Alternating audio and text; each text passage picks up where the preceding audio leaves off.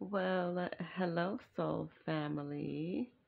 Beautiful rising, good afternoon, and or lovely evening to you, wherever you are, depending on the location of your rotation. Mhm. Thank you for stopping by my channel. This is our daily chakra energy reading, and today is Tuesday, March 19th of 2024. So, happy Tuesday to all of you. I hope you are all doing so very well. All of my readings are intended to be timeless, meaning whenever you have found this video is when you are meant to hear the message.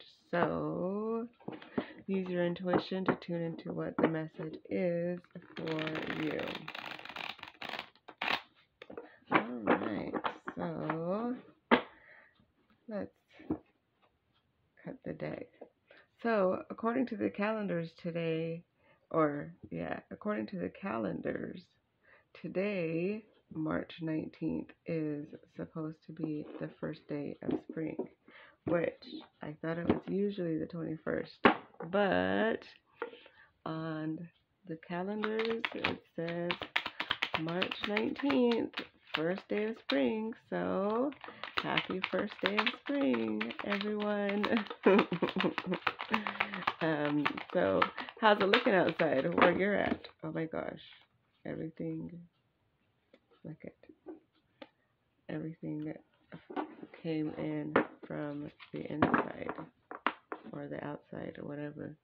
So maybe you're expecting something to go one way and it goes completely the other way.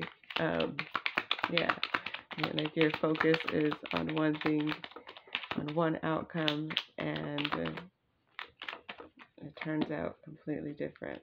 Okay, so I'm taking this one, the one that jumped and flipped. Okay. So today's affirmation comes from the second chakra, which is our sacral chakra, card number 41. 41 adds up to a 5, which has to do with change. So, yes, be open to change. And it says, I give and receive affection and physical contact with total enjoyment and trust. I give and receive affection and physical contact with total enjoyment and trust. So maybe there are some of you, or we are being guided to tune into how we feel about physical contact. Um, yeah, what does it make you feel when you give and receive physical contact? Do you like to give people hugs? Do you are you standoffish or, yeah. Um, it feels like we are being guided to take a look at it. So, let's read the meaning.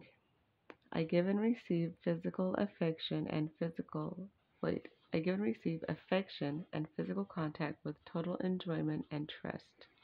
Meaning, affection and closeness are wonderful experiences, yet People are frequently very afraid of them because humiliations and emotional wounds related to the past have not been healed.